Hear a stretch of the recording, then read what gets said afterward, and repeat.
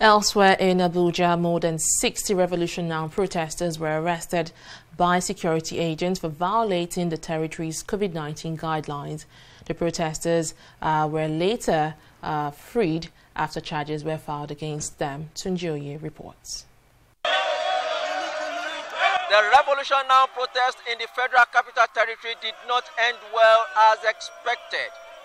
The protest was initially scheduled to hold air at the Unity Fountain, but the presence of heavily armed security agencies thwarted the rally. The protesters eventually gathered at Berger area of the city, where they hurriedly addressed the media. Nigeria is currently in a state of emergency.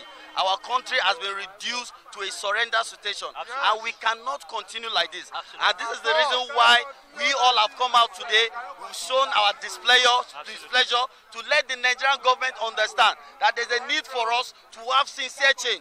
If you have a government who has its neck well screwed on its shoulder, if you have a government that is serious about the welfare of the people, by now the service chiefs would have been removed. By now, a lot of things would have been overhauled in this country. There's a need for us to have a conscious political revolution. Absolutely. There's a need for us to have change of leadership. Absolutely. There's a need for us to have people who have clear focus, Absolutely. who have passion and welfare of the interest and the interest of the people in their heart to take over leadership. Fulani men are taking over people's belongings and properties, terrorizing people all over the country. Whereas education is in shambles in this country. Whereas health is in total mess in this country. Whereas citizens cannot feed as there is high level poverty all over the country. More so, Nigeria has been, has been rated highly among the poverty capital of the world.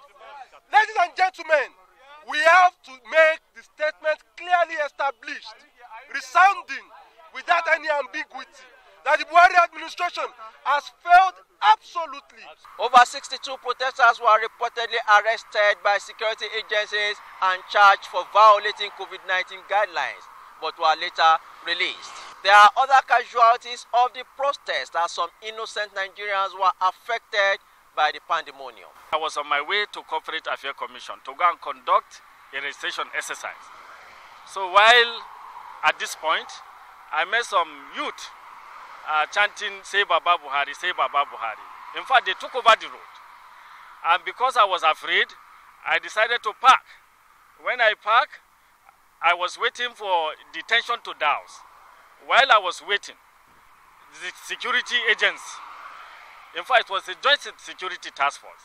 The army, the police, the, the, the army, the police, the mobile police, they all came here and they invaded, and they invaded the place. So I entered my car, I was at the verge of uh, driving off. And in fact, one of the soldiers came and smashed my bar screen, my car bar screen. In fact, that was not enough. He came to the front screen again and smashed it. And I told him, ah, what is my business with you? Why are you doing all this thing? In fact, one was even threatening me that, in fact, they are licensed to kill, that if I do, if I do not conduct myself with civility, I will be killed. To our greatest surprise, were all taking, beating us, driving us all around the town. They broke my phone, all and the rest. I didn't expect this from the security apparatus.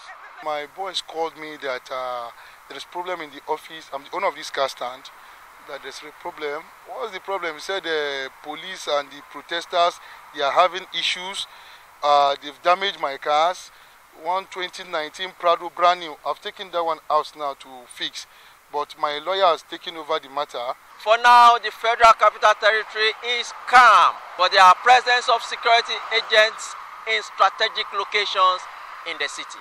From Abuja, Sunjoye. TV 360 News.